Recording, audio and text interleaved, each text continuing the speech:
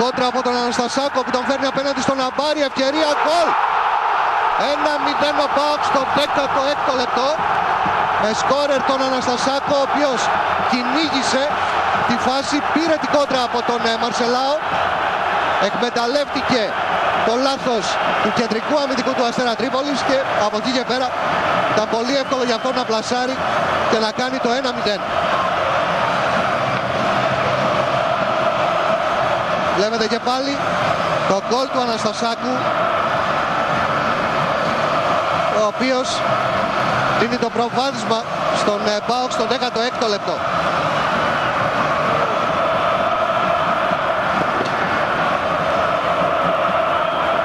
Και από μία ακόμη οπτική γωνία το γκολ του Αναστασάκου.